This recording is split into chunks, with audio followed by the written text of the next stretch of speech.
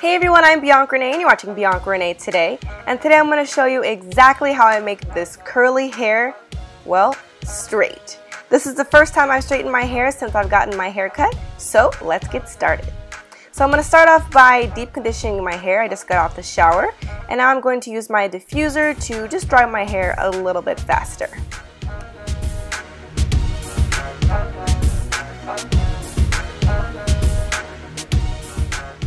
Now I'm going to section my hair in small sections and I'm going to start to comb out my hair just to get rid of all my beautiful curls. And then I'm going to grab my blow dryer and blow dry anything else that is still a little bit wet and I'm going to comb and blow dry straight down just to help it start to get in the straighter form. Now remember when using any type of heat it is best to use some type of heat protectant. I'm using a Garnier Fructis style new Sleek and Shine Flat Iron Perfector which is a straightening mist with argan oil.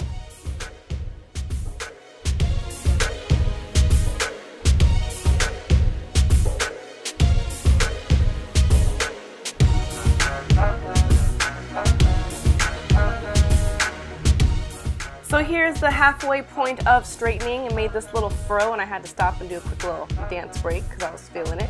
But now I'm going to section off my hair again, get the little part in the back.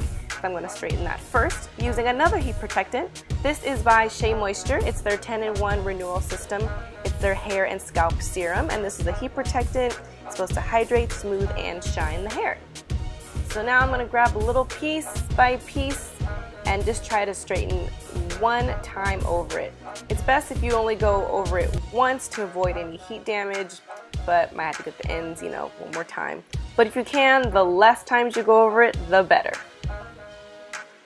Now, for the record, before the heat police come after me, the only reason I'm straightening my hair is because I was really curious to see how my hair would look straight at this length before I, one, grow it out, and two, start the inversion method. So I will be starting the inversion method next week, and I just think it's pretty anti-productive to be trying to grow my hair if I'm going to be adding heat to it. So this will probably be the first and last time I straighten my hair for a very long time. And the last step I'm going to add a little bit more oil just to give it a little more shine. So here it is, here's my final look with my straight hair. Now you and I both know what it looks like straight. If you like this video, please give it a thumbs up and please remember to subscribe. I post new videos every Sunday, so I'll see you guys next week. Thanks for watching Bianca Renee today.